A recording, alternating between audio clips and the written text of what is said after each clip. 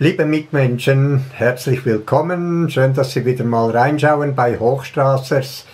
Es ist mir ein Anliegen, heute über das Immunsystem des Menschen zu sprechen. Denn überall, wo man hinschaut, haben die Menschen Panik, laufen mit ihren Masken rum, fürchten einen klitzekleinen Virus und man ist bemüht, über dieses Virus möglichst viel Panik zu verbreiten. Ganz einfach, äh, man will ihnen klar machen, dass man da impfen müsste. Nun frage ich mich, wie wichtig ist es eigentlich, dass wir uns impfen? Kommt die Idee, sich impfen zu lassen, erst dann, wenn man bereits schon einen Irrweg eingeschlagen äh, hat? Im Moment ist es so, die WHO hat ganz kürzlich erwähnt, dass pro Jahr auf der Erde 40 Millionen Menschen sterben an nicht übertragbaren Krankheiten. Diese Menschen sterben an Zivilisationskrankheiten, wie man das nennt. Ja, was ist denn deren Ursache? Es sind Verhaltensfehler im Leben. Das Immunsystem ist das natürlichste der Welt. Hätte mein Immunsystem nicht für mich geschaut, ich wäre nie so alt geworden, wie ich jetzt bin. Zudem habe ich gerade kürzlich eine neue Studie, die im 2020 herausgebracht worden ist. Im Natural News habe ich das gelesen, die Peer Review Studie, Studie die besagt, dass ungeimpfte Kinder viel gesünder sind als geimpfte. Wie kommt das? Ja, was ist jetzt los? Ist es die Impfung, die das Immunsystem schwächt? Oder ist es die Impfung, die das Immunsystem stärkt? Also ich für mich persönlich habe dafür mein Vertrauen verloren. Ich bin schon lange, lange nicht mehr geimpft und ich bin überall an äh, verschiedenen Orten in der Welt gewesen, also Indien, Sri Lanka und so weiter, da braucht man schon ein Immunsystem, das funktioniert. Ich war in Südafrika, ich war in afrikanischen Ländern, wo ähm, äh, verschiedene Krankheiten grassieren. Mich hat nichts bewegt. Und ich habe nie eine Grippe oder einen Schnupfen gehabt, während der ganzen Zeit, wo ich mit Rohkost gelebt habe. Nun Rohkost, darauf komme ich noch später zurück. Was brauchen wir für ein gesundes Immunsystem? Was wäre jetzt besser als irgendwelche Impfung? Mal ganz sicher brauchen wir Bewegung an der frischen Luft. Frische Luft, nicht durch eine Maske gesiebt. Wir brauchen frische Luft. Dann brauchen wir Vertrauen, weil warum? Vertrauen bringt uns nämlich äh, Geborgenheit. Vertrauen ins Leben. Das Leben ist an uns genauso interessiert wie wir am Leben. Also dieses Vertrauen, das ist eminent wichtig. Dann was brauchen wir? Freude. Wir brauchen Menschen um uns, die uns Freude bringen. Wir brauchen Menschen um uns, denen wir Freude bringen können, weil Freude bringen macht auch Freude. Das stärkt das Immunsystem. Wir brauchen positive Gedanken, das heißt, dass wir unsere Gedanken kontrollieren können, dass wir wissen, was wir denken. Und das ist wichtig, wir müssen wissen, was wir denken. Wir müssen auch entscheiden, was wir denken wollen. Wenn unsere Gedanken Selbstläufer sind und ständig ähm, schlecht denken, negatives Denken, ängstlich denken, dann ist unser Immunsystem laufend gefordert. Das bringt niemand weiter. Was wir weiter brauchen, ist eben, wie ich schon erwähnt habe, Liebe und Geborgenheit. Das ist die Schwester zur Freude. Und dafür müssen wir sorgen. Dafür muss jeder selber sorgen. Des Weiteren kommt jetzt natürlich die Ernährung und das ist etwas, das wir täglich tun. Täglich zwischen zwei und fünf Mal. Und wenn wir da Fehler machen, das summiert sich, das schlägt zu Buche. Nun, was können wir denn tun? Ich meine, wenn wir sehen, 40 Millionen Menschen, das ist die Hälfte von ganz Deutschland, das jährlich an diesen Krankheiten stirbt. Warum hören wir jetzt nicht zum Beispiel von unserem äh, BAG, von unserem Gesundheitsamt, von unseren Gesundheitsministern, was wir essen sollten, was wir tun sollten? Warum werden dann nicht Industrienahrung und diese isolierten und modifizierten Zuckerarten, diese raffinierten und modifizierten Ölarten, warum werden die nicht verboten? Warum spricht da niemand darüber? Da lässt man uns im Dunkeln stehen. Ganz einfach. Hier geht es ums Geld. Hier geht es um Macht. Und da geht es auch bei Corona. Hier geht es nicht um Ihre Gesundheit. Das können Sie mir glauben. Und wenn Sie ein bisschen darauf achten, wird Ihre Gesundheit mit oder ohne Maulbinde wunderbar florieren. Hier geht es um etwas ganz anderes. Hier geht es um eine Machtübernahme. Da können wir aber selber eine Antwort darauf geben. Und wenn Sie es bis jetzt noch nie gehört haben, dann sage ich es Ihnen. Essen Sie mal einfach Rohkost. Wenn Sie sich kränklich fühlen, dann machen Sie einfach mal eine Fastenzeit von zwei bis drei bis fünf Tage. Und Sie werden sehen, es wird sehr schnell wieder in Ordnung kommen. Essen Sie Rohkost Warum soll man die Nahrung zuerst töten, bevor man sie in sich hineinnimmt? Leben kommt immer nur vom Leben. Totes kann nur Totes bringen.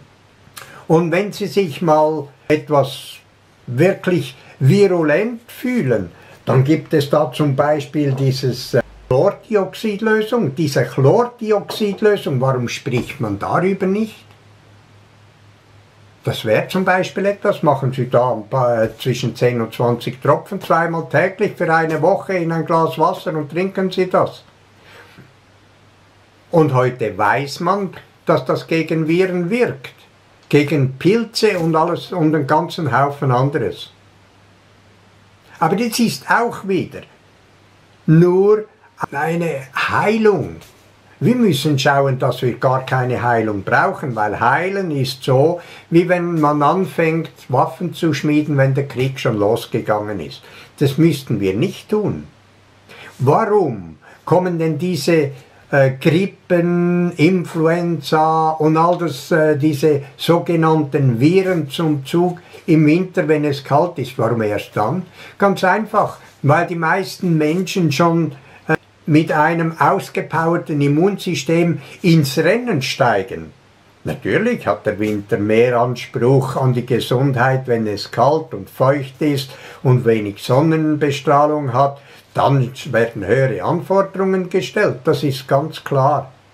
Und wenn Sie dann schon äh, Vorfälle verloren haben und wenn Sie dann schon nicht gerüstet sind, dann wird es sie natürlich erwischen. Dann wird der Körper sagen, gut, jetzt fahren wir mal alle Aktivitäten runter und wir erholen uns zuerst wieder, bis wir genügend Kraft haben, um dann wieder ins Rennen zu steigen.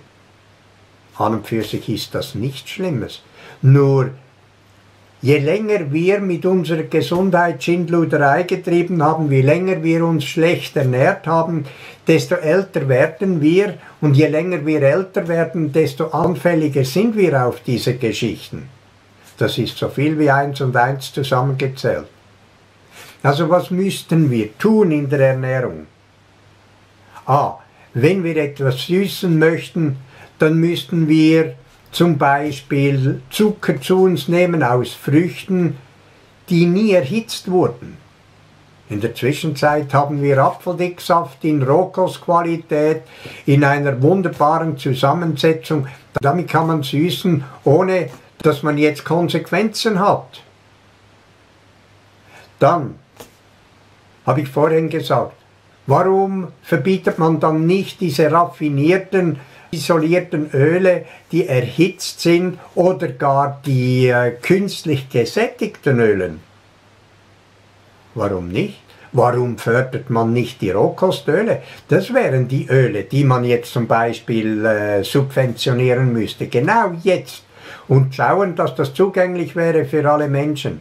Da gibt es zum Beispiel ein Aprikosenkernöl. Ein Aprikosenkernöl hat so viel Vitamin E, dass es sehr, sehr stark antioxidativ wirkt. Das ist genau das, was wir jetzt brauchen. Antioxidative Stoffe, aus dem können Sie eine ähm, Mayonnaise machen oder Mayonnaise-ähnliche Soße. Das können Sie mit Mandelpüree machen. Da brauchen Sie keine tierischen Produkte. Das können Sie vegan machen. Das haben wir aufgezeichnet. Das können Sie auf unserem YouTube-Channel, Hochstraßers YouTube-Channel, können Sie das sehen oder gehen Sie über www.urshochstraße.ch rein und dann werden Sie die auf den äh, YouTube-Channel kommen. Und da haben wir das Buch Rohkost vom Feinsten. Da sind alle Rezepte drin. Da haben Sie die Rezepte und dann haben Sie noch ein Zugangsbuch hier mit allen wichtigen äh, Details drin. Das lohnt sich, das mal durchzuschauen. Gehen Sie in den YouTube, da haben Sie noch die Verfilmung, wie man zum Beispiel solche Linsenkeimlinge mit ganz vielen anderen Linsen macht. Das ist potenzielle Nahrung das ernährt sie. Oder wie man äh, Sprossen zieht im Winter, wie man äh, Sonnenblumensprossen zieht, wie man Weizengras macht. Weizengras, das ähm, enthält das P4D1 und ist in der Lage, das wurde von Dr. Kubota isoliert, und es ist in der Lage, ihre DNA zu reparieren. Das sind die Sachen, die wir müssen. Das sind die Antworten von der Natur auf eventuelle Krankheiten.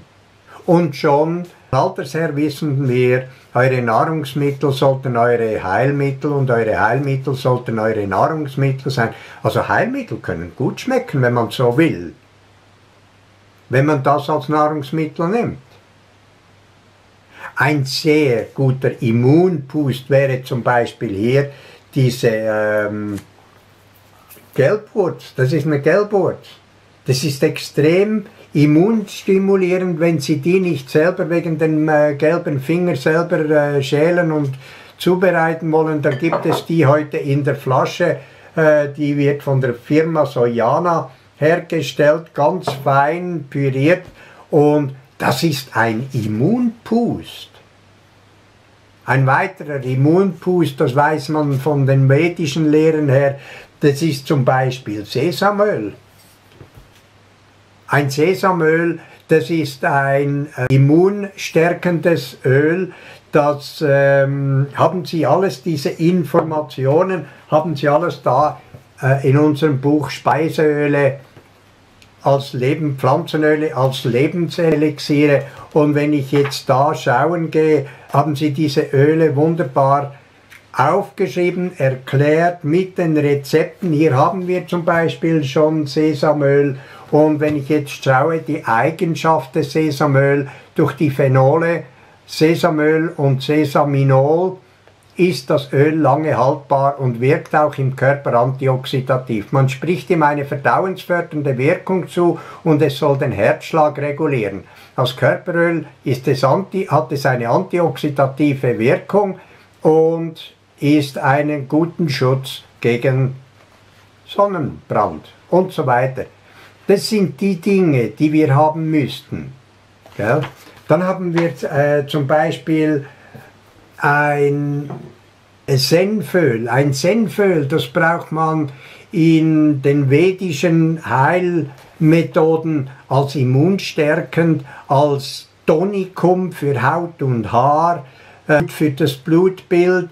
Da haben wir zum Beispiel das Öl der Weisen aus dem Orient, da haben wir ein Mandelöl, ein Senföl und wir haben Kreuzkümmelöl da drin. Kreuzkümmel, das wurde im Orient schon lange als äh, das Allerheilmittel äh, gebraucht und eingesetzt. Diese Naturärzte, die kennen das. Das können wir uns zunutze machen.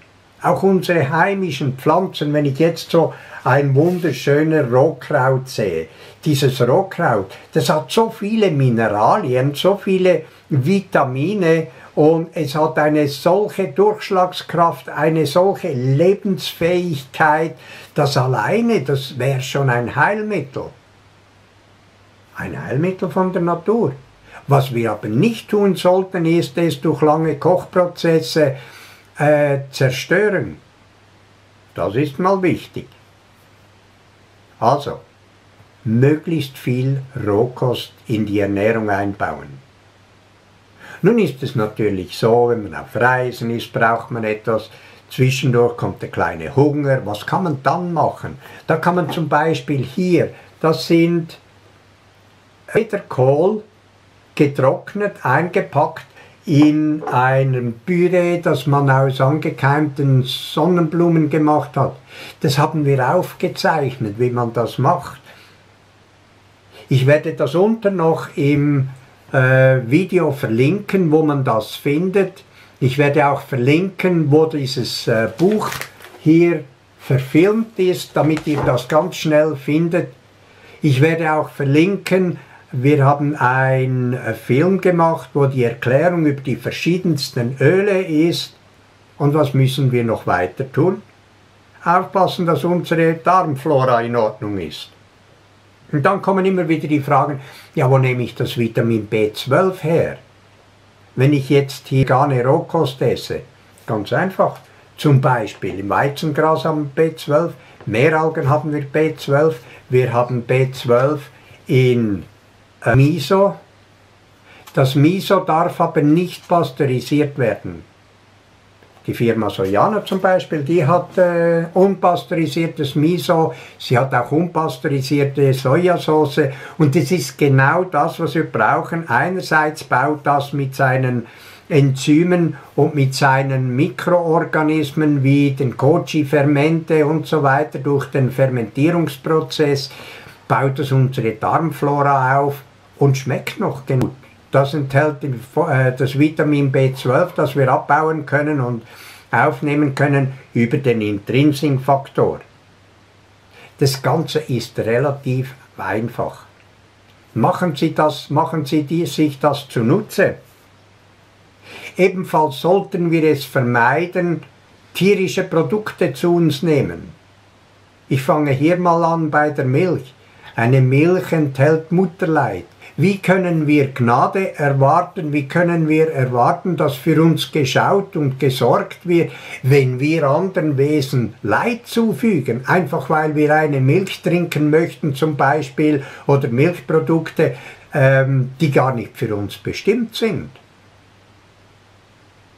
Wenn wir jetzt unseren Frauen einfach die Milch wegnehmen würden, dann hätten sie auch Leid, auch ihre Kinder hätten Leid. Das sollten wir niemandem antun. Da haben wir aber die Lösung. Wir können Milch und Milchprodukte herstellen aus pflanzlichen Produkten. Dem, die stehen dem anderen nichts nach. Wir haben das Mandelpüree und können eine Mandelmilch machen. Auch das haben wir aufgezeichnet. Und wenn wir in diese Mandelmilch noch ein bisschen Leinöl dazugeben oder Leindotteröl, dann haben wir eben auch noch diese Alpha-Linolensäuren drin, die das gleiche machen wie zum Beispiel ein Budwig-Müsli. Es bringt alle Stoffe heil an unsere Zellen, damit sich unsere Zellen regenerieren können.